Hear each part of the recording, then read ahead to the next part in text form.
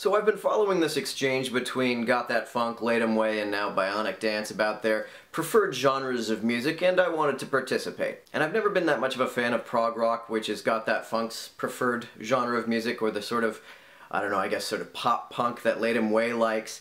They linked to a few selections of their favorite songs, and um, most of them I didn't much care for, but a few I did. A few I, I really liked, actually. As for Bionic Dance's selections, I found most of them to be quite bland.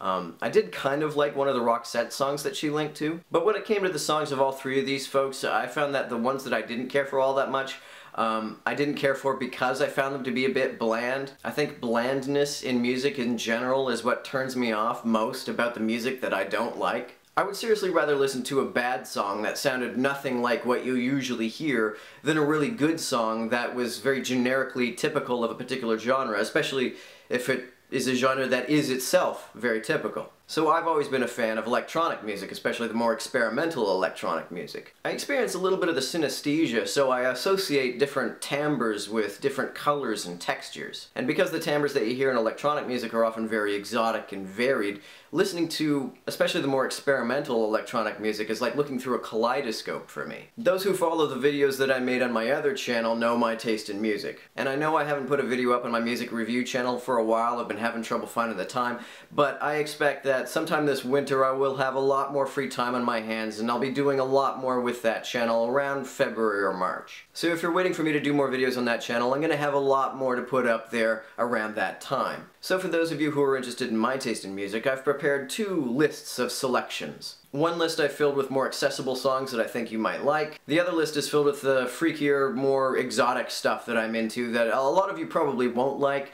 uh, but I put it I put it in the description anyway in case you want to well in case you're curious about what I like and in case you want to expand your musical horizons. So check those out and enjoy.